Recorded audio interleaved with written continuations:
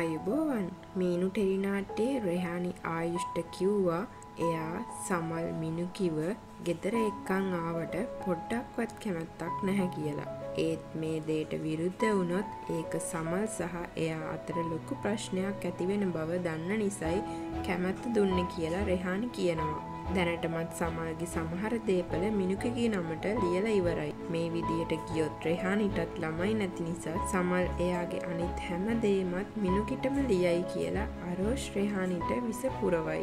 ඉතින් මිනුකිව සමල්ගෙන් ඈත් කරන්න අරෝෂ් සහ රෙහානි මිනුකිව පැහැරගෙන ගිහින් මරල දාන්න තීරණය කරයි. ඒත් සමල්ට රෙහානි සහ අරෝෂ්ගේ මේ ප්ලෑන හෙළිවෙයි.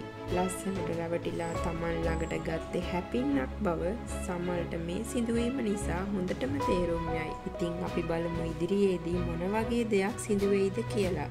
ඔයාලා හැමෝටම සුප දවසක්.